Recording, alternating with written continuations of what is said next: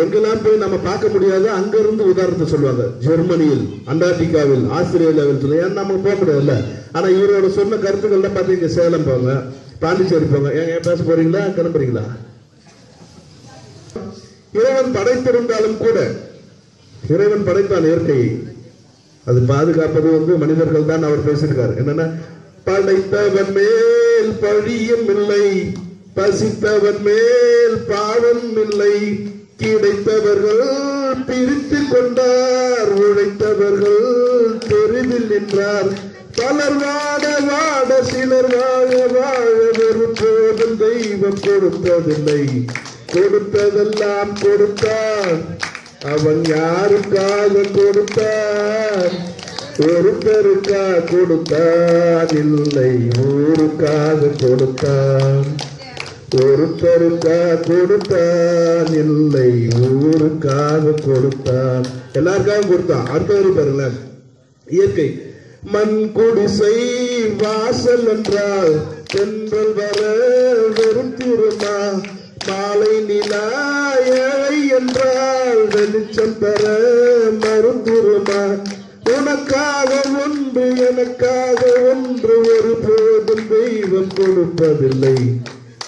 பொதுவாக கொடுத்ததா தெய்வம் இயற்கை மனிதன் பயன்பாடு எத்தனை கருத்துகள் காடுகள் அழிச்சு விளை நிலங்களாக கொண்டு வந்த மனிதர் பல கருத்துக்களை சொல்லியிருக்காரு. அதுக்கு பூரா இப்ப பதில் சொல்லணும். இயற்கை வளங்களை பாதுகாப்பது விலங்குகளேன்னு சொல்றதுக்கு அதுல இன்னொரு ஹைலைட் என்னன்னா இயற்கை வளங்கள் பாதுகாப்பை பத்தி பேச போற இவரு ஆச்சரிய வேலை செய்யறாரு டெய்லி ஒரு மரத்தை வெட்டுறது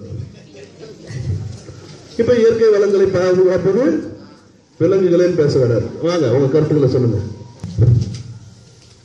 செந்தமிழ் சொல்லெடுத்து அர்ஜுனன் வில்லெடுத்து அந்த சராசரத்துக்கு காட்சி கொடுத்து என் அப்பன் மகாதேவனை வணங்கி. ஆணுக்கும் பெண்ணுக்கும் பிறவாத என் தாய் பாஞ்சாலை வணங்கி என்னை ஈண்டெடுத்த என் தாயும் என் தந்தையும் பொற்பாயங்களை தொட்டு வணங்கி. முதல் வணக்கம் இந்த மண்ணுக்கு வணக்கம். அடுத்த வணக்கம் இந்த உயிர்களுக்கு வணக்கம். என்னடி வீரர்களுக்கு வணக்கம் எதிரணி தோழருக்கு வணக்கம்.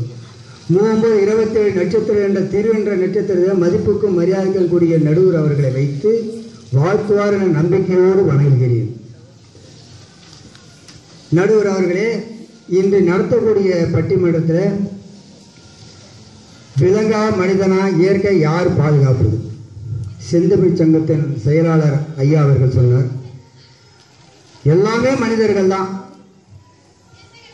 சேலத்து பக்கத்தில் ஒரு பெரிய குளம் வெட்டினான்னு சொன்னாங்க. எப்படி வெட்டினாங்க? மனுஷனுக்கு காசு கொடுத்தான் குளம் வெட்டினான். இன்னும் ஆறு மாதம் கழிச்சு போய் பாருங்க அது நிலமா இருக்கும் அங்கே குளம் இருக்காது தண்ணி இருக்காது. வீடா இருக்கும். வீடு இருக்கும் கோயில் கூட இருக்காது வீடு இருக்கும். இதை மறந்துட்டு நான் குளம் கட்டினா கோயில் கட்டினா வீடு கட்டினா யாராவது நம்புவாங்களா? காலை போகிற போக்கில் குளம் இல்லை. குட்டை கிடையாது. குளம் ஏரி கிடையாது. அதெல்லாம் முடிஞ்சு போச்சு. ஆடு மாடுகள்லாம் ஏதாவது தவறு செய்தா? காடுகளில் இருக்கிற விலங்குகள் ஏதாவது தவறு செய்தா? ஒன்றும் கிடையாது. மனிதன் மிக உயர்ந்த மரத்தை வெட்டி பணமாக்குறான். உண்மையாக பொய்யன்னு இல்லை சொல்லுங்க. நடுவர் அவர்களே சொல்லுங்க. நீங்க வந்து நீதி அரசு அல்ல. ஏதோ வசப்பாடி உங்ககிட்ட பேசுறேன்னு தீர்ப்பு அந்த பக்கம் சொல்லிடாதீங்க. உங்களை மலை போல நினைச்சிருக்கிறேன். நீங்க நீதி அரசு அல்ல ஒரு பெரிய பேரரசு. இன்னைக்கல்ல இன்னும் இரண்டு மாதமும் மூன்று மாதமும் கழித்து நீங்க டாக்டர் பட்டம் வாங்க போறீங்க. அன்னைக்கு நாங்க தான் வரணும். பள்ளிட்டு செயலாளர் அவர்கள் ஒரு மணி நேரம் காலதாபனமாக வருவார். நாங்கள் தான் கூடவே இருக்கணும். எக்காரணத்தை முன்னிட்டு மனிதன் வந்து பலத்தை பொறுப்பானது நினைக்காங்க அது கிடையவே கிடையாது. காடுகள் இருக்கிற விலங்கெல்லாம் பாருங்க. யானை வந்து மரத்தை ஒடிச்சு சாப்பிடும். உடனே மரம் துளுத்துக்கும். விலங்குகள் என்ன எல்லாம் மரம் செடி கொடியெல்லாம் வளராமல் துடுக்கும் சாப்பிடும். இதோட சரி அது வேலை பறவைகள்லாம் அங்கே இருக்கிற பழங்கள்லாம் சாப்பிடும். இச்சம் போடும் அது எங்கே மரமாக முளையும் அது இயற்கை வளத்தை பெருக்குதை தவிர அது அழிக்கலை. மனிதர்கள் மட்டும்தான் இயற்கை வளத்தை அழிக்கிறோம்.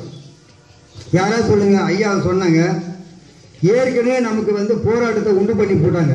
நல்ல கவனத்தில் வச்சுக்க பாண்டவர்கள் வந்து அஸ்வாமிப்பட்டது ஒரு பெரிய கோட்டை கட்டினாங்க வாழறதுக்கு எதுக்காக கட்டினாங்க? காட்டை அழிச்சாங்க. அப்போ நாங்கள் இன்றைக்கே நாங்கள் மரம் வெட்ட ஆரம்பிச்சிருந்தா நீ வருங்காலத்தை வெட்டுங்கடான்ட்டாங்க. உண்மை பொய்யா? கை தட்டுங்கப்பா. இதெல்லாம் சும்மா சாதாரண கை- விஷயம். கைத்தட்டி நேர்ல தான் பேசுவார் அவருக்கு. சொல்லுங்க இதுக்கு வழிகாட்டி யாரு? பாண்டவர் காலத்துல அங்கேயே சொல்லிட்டாங்க. நாங்க இன்னைக்கு மரம் வெட்டுறோம் எதிர்காலம் நீங்க வெட்டிங்கிறல்ல மட்டும் சொல்லிட்டாங்க.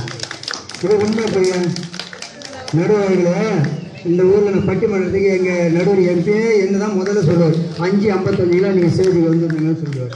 நான் என்ன பண்ண அடிச்சு பிடிச்சி நீங்கள் வந்த ஒரு பையனை கேட்குறேன் தம்பி தம்பி இந்த ஊரில் எங்கடா பட்டிமன்றம் நடக்குன்னு அவன் சொன்னான் நீ எங்கே போகிறேன்னு கேட்டான். பட்டிமன்றத்துக்கு போகிற பண்ணணும் என்ன செய்கிற வேலைன்னா மாதம் ஏதாவது பேசுவேன் அவர் ஏதாவது ரெண்டாயிரம் ஆயிரம் கொடுத்தாங்க குடும்பம் அப்போ நீ வாயை வாடகை விட்டு சம்பாதிக்கிறியா? அப்படின்னு கேட்குறான் இந்த காலத்து பசங்களுக்கு நம்ம எதுவுமே சொல்ல தேவையில்லை. எல்லாமே சொல்கிறான் நான் என்ன வாயை வாடகை விடுறேன்? உங்களுக்கு நல்ல கருத்து சொல்கிறதுக்காக வந்திருக்கிறேன். அவன் அங்கேயே சொல்கிறான் நாயை வாடகை விட்டுருவேன் மாணவர்களே இப்போ ஒரே ஒரு கருத்து. பந்து கீழே அடித்து மேலே போய் வந்தால் எதுக்கு? ஏன் வருது? அதுதான். அது தப்பு. நான் சொல்றேங்க பந்து கீழே அடிச்சு மேலே போய் மறுபடியும் வந்தா அங்க பிடிக்க ஆள் இல்லை கீழே வந்து போச்சு?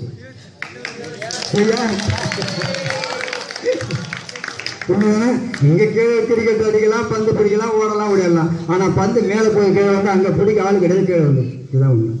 ஐயா நடுவர் அவர்களே சொல்லுங்க. இப்ப ஐயா சொன்னாரு "ஏ, எங்க போனா வெட்டுறான் மரம் வெட்டுறான் அப்பயே சொல்லிட்டாங்க மரம் வெட்டுற காட்சியெல்லாம் அப்பயே முடிஞ்சு போச்சு. இப்ப நாங்க வந்து விலங்கு எல்லாம் மரம் வெட்ட போறதே இல்லை.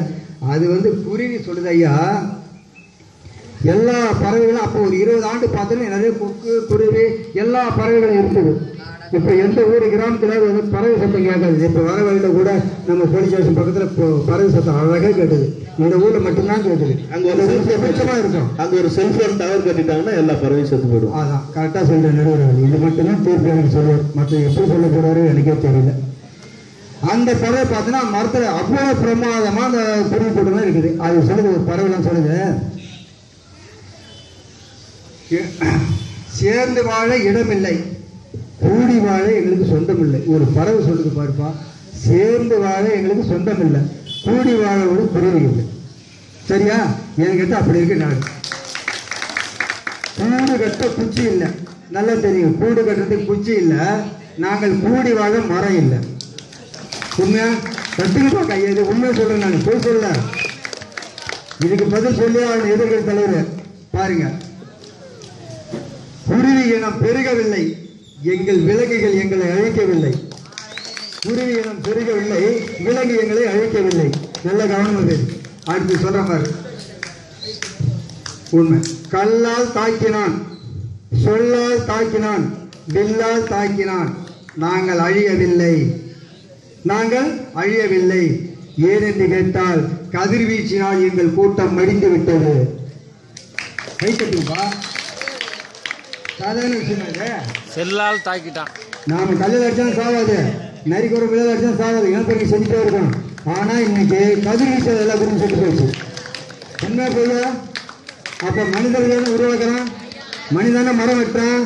மனிதனை எல்லாரும் அழிக்கிறான்? மனிதனுக்கு காசு கொடுத்தா எதையும் செய்வான். அடுத்து சொன்னாரு சித்தமை சங்கத்தின் தலைவர் துணை செயலாளர் சொன்னாரு. அங்க வந்து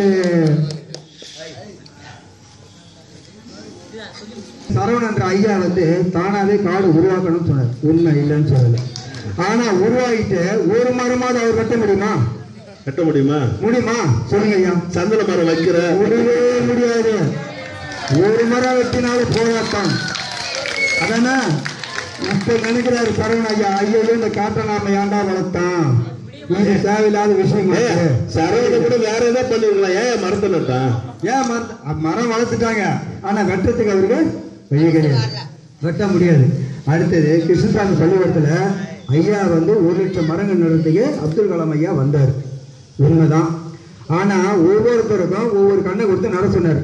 அந்த கண்ணு வளர்ந்துருக்குதா? சொல்லுங்க. இது வந்து தேவையில்லாத ஒரு பூஜை உங்ககிட்ட கொடுத்துறாங்க மாணவர்களே நீங்கள்லாம் சரியாக இருக்க வேண்டுமையானால் மரக்கண் நடணும் ஆனால் அதை அழிக்கக்கூடாது இன்னைக்கு எடுத்துக்க சேலத்தில் எட்டு வழி சாலான்னா இருக்கிற ஓரத்தில் இருக்கிற மரமெல்லாம் வெட்டிட்டான். என்ன பொய்யா அந்த ஊரில் மிகப்பெரிய அற்புதமான ஒரு ஒரு செடி வளர்ந்தது. அது அற்புதமான அந்த செடி அந்த செடிக்கு பேர் என்ன தெரியுமா? இருகுறங்கி கை கொண்டு கொண்டு வந்தால் சார் குறுங்கி உட்கொண்டால் சளி போகும்னா. அந்த காலத்தோட பரிபாஷை இது சித்தர்கள் பரிபாஷை இது இருகுறங்கு கை கொண்டுன்னா குரங்கு என்றால் முசு மசுங்கு. அந்த முசு மசுங்கு தழை அங்கே தான் ஏராளமாக இருந்தது. அந்த மரம் வெட்டுறது எல்லாமே செத்து போச்சு. இப்போ ஒரு இயற்கையில் வந்து ஒரு மருத்துவ செடியை சாவடிச்சாங்க மனுஷன் தான் மற்ற யார் சாவடிக்கலையா?